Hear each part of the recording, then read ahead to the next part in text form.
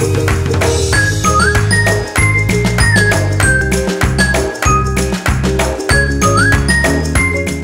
Aquela pausa agora aqui na creche Escola Arco-Íris. Hoje eu estou aqui com a Daniele, que é psicóloga. A gente vai falar um pouquinho sobre essa aulinha super bacana que a gente está vendo aqui, que é psicomotricidade. E a Dani vai explicar um pouquinho para vocês aí de casa como é que é essa rotina, né, inserida aqui com as crianças na escola. Fala um pouquinho, Dani. A psicomotricidade, né, o próprio nome já diz. Psico é a parte da psicologia, a, cogni a cognição da criança e a motricidade é o movimento, é o corpo.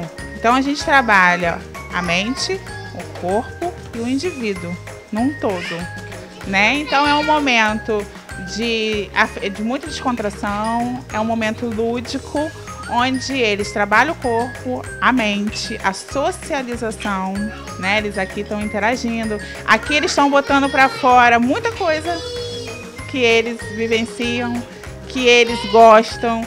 Aqui a gente trabalha a questão da cooperação, do respeito, a tolerância, a hora do outro, a tua própria hora, o egoísmo. Então é um trabalho rico e muito gostoso que a gente faz aí com a rapaziada.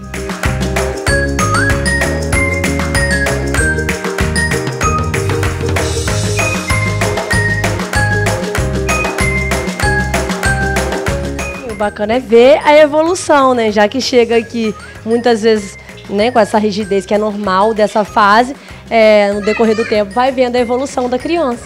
E é muito gostoso, é muito bom. É um prazer, né, estar tá aqui e poder compartilhar isso com o pessoal de casa, né? Sim, sem dúvida. E a creche Escola Arco-Íris convida vocês, né, para estarem vindo conhecer a escola, trazer o teu filho para estar aqui com a gente, né, é, aprendendo, brincando.